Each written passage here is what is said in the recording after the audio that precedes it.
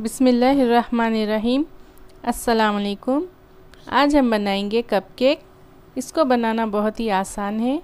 ये कितना परफेक्ट लग रहा है।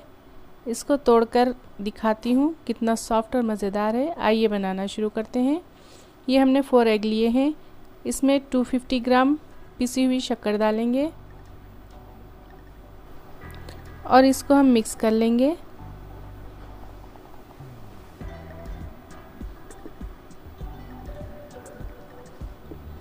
अच्छे से मिक्स करेंगे।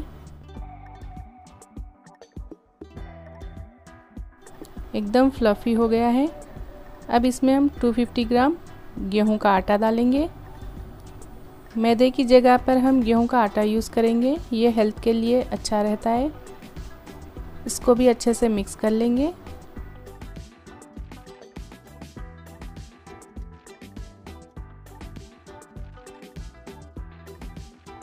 ये मिक्स हो चुका है। इसमें 50 ग्राम जितना घी डालेंगे वन टीस्पून बेकिंग पाउडर डालेंगे और half teaspoon baking soda डालेंगे। आप अपनी मर्ज़ी के फ्लेवर भी डाल सकते हैं। मैं इसमें बटर स्कॉच एसेंस डाल रही हूँ। ये सेवन एट ड्रॉप्स जितना डाल रही हूँ मैं। इन सबको भी मिक्स कर लेंगे।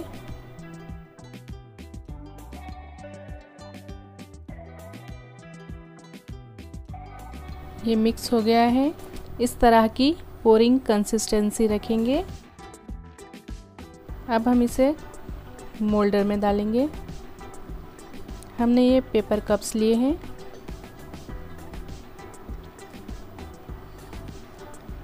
बैटर को हाफ़ कटोरी से बढ़कर डालेंगे। ज़्यादा फुल नहीं भरेंगे। ज़्यादा डालेंगे तो ऊपर आकर गिर जाएगा।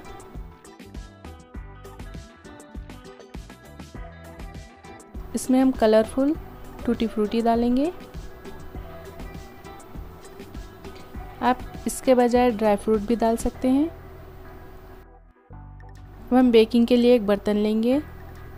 इसमें रिंग रखेंगे और मोल्डर को रख देंगे। इसकी थाली ढककर 5 मिनट मीडियम फ्लेम पर पकाएँगे और 10 मिनट स्लो फ्लेम पर रखेंगे।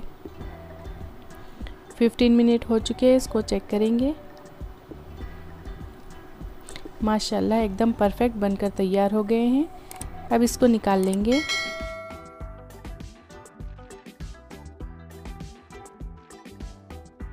ये देखिए, हमारे कपकेक बनकर तैयार हैं।